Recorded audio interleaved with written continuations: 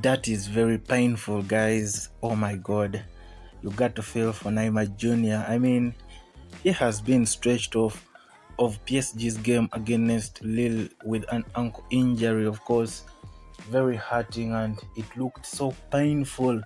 I mean, you could see tears coming out of his eyes, and of course, we just don't know because we're just waiting for the information from the medical team and of course they have to assess him as early as possible.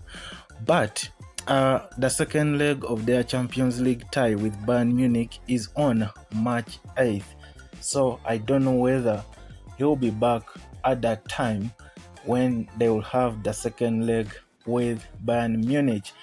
Well uh, of course uh, PSG is beating Lille three, four goals to three right about now. Of course, the game is in added time. Kylian Mbappe scoring a brace.